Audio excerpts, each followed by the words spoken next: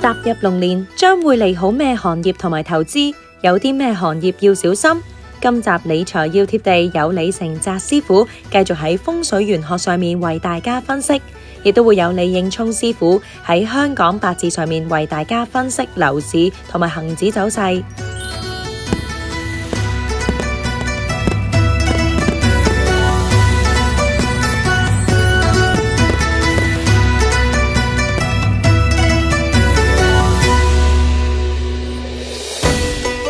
講風水玄學上面呢，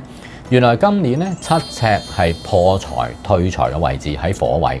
所以雖然係九運嘅第一年，但係九運嘅行業係太弱流強，包括飲食業都有機會遇到比較大嘅挑戰嘅。而地產方面呢，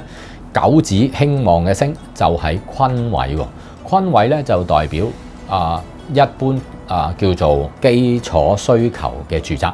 仍然咧有所追求嘅，所以大家都唔使話太擔心。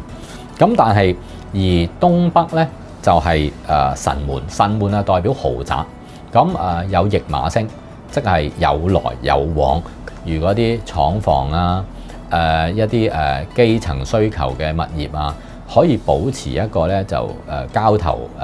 誒誒比較係穩定嘅豪宅咧，就有嚟有往，似乎咧。就比較誒交投偏飄忽啲，咁未係一個咧誒地產大形勢向好嘅狀態嚟嘅。整體上面咧，銀行業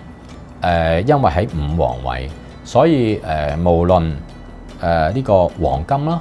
誒、呃、貨幣啦、銀行啦，佢處於一個咧就容易喺一個高上低落嘅位置飄忽，咁啊大上大落。咁所以咧就如果真係誒、投機博彩嘅人士喺呢方面嘅投資咧，就要非常謹慎啦。因為三逼入中啦，咁所以咧誒好多條件咧都可能會牽涉到咧就一啲誒誒戰爭啦，誒、呃、國與國之間嘅吵鬧啦。一啲大嘅問題咧，導致嗰個金融經濟咧有所反覆嘅。咁但係呢一部分咧，大家都要留意多啲嘅。花草樹木嘅位置係病位，所以咧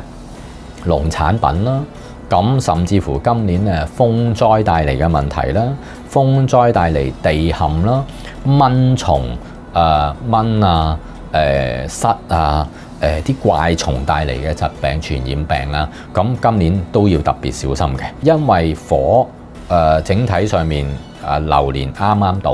而九運咧其實火咧真係會比較旺火，咁所以火災咧大家都真係要小心一啲易燃物品啊、爆炸物品啊，咁大家要誒、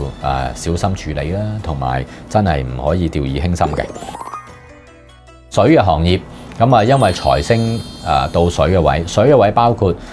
船務啦、物流啦、航運啦，咁都處於一個比較好嘅優勢。偏財位咧喺東位，係代表建築業同木有關嘅，咁啊建築啦，咁建築基建咁其實繼續誒發展嘅，咁但係咧就好壞參半，因為偏財偏財咧就唔係全面個行業咧能夠誒即係能夠分享到個誒優勢。咁而誒、重工業誒、或者係誒、一啲誒比較叫做誒、呃、強嘅誒、一啲叫做誒、工業發展喺四六星誒、似乎咧有一啲新嘅起色嘅，咁啊即係誒、即係復甦嘅機會會比較大啲。喺呢個二零二四年入邊嚟講咧，喺香港嘅八字入邊嚟講咧，只係屬於一種。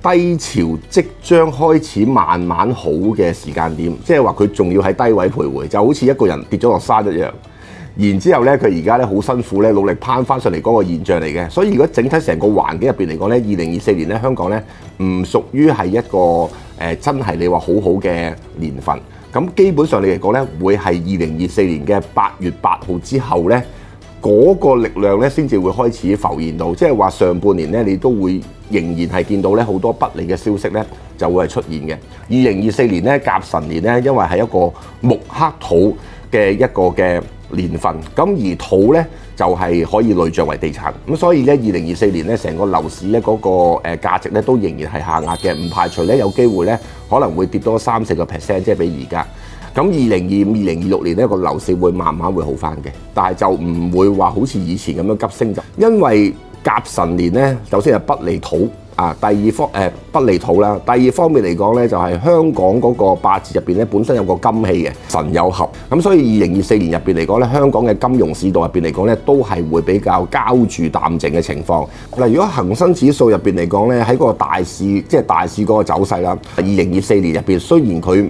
未必會大升，因為個金氣仍然係冇力嘅關係啦，所以二零二四年呢，嗰、那個恆生指數走勢呢，個升幅呢都唔可以期望太多。咁、個人呢嘅睇法入邊嚟講呢，由二零二四年呢係有機會呢可以去到二萬三至二萬四呢一個嘅水平嘅，因為二零二四年呢係一個低位開始慢慢回復元氣，當佢開始慢慢反彈嘅時候呢。其實係有利一啲之前嘅龍頭股咧，即係會即係會上升先嘅。咁所以譬如騰訊嗰啲嚟講咧，其實相對比較好少少，可以咁樣講。騰訊係比較好少少，盈富基金啊、港交所呢啲嚟講咧，相對上咧係會容易比較獲利嘅。二零二四年入邊嚟講咧，因為甲辰年咧，我哋叫做一個有一個水庫嘅現象。咁水庫咧就係有利一啲誒。比較收藏咗嘅一啲嘅金融產品，即係一啲未係好大行其道嘅金融產品。咁例如譬如加密貨幣咧，係加密貨幣咧，二零二四年咧係有利嘅。咁火氣開始旺入邊嚟講咧，就係代表咧 AI 人工智能科技呢一啲，即係大家成日都會講嘅產品係會繼續興旺啦。第二方面嚟講，亦都係可以代表咧一啲美容化妝護膚方面嘅嘢嘅，因為火係代表豔麗嘅。第三咧，火係虛幻不實嘅。所以咧，騙子啊特別興旺，用一啲咧比較古靈精怪嘅行業嘅，就係魔術啦。因為魔術咧本身咧都係虛幻不實嘅嘢嚟嘅，咁所以咧喺二零二四年咧呢一個火旺嘅開始慢慢火旺嘅氣運入邊嚟講咧，魔術呢一個行業咧可能都會大行其道嘅喎。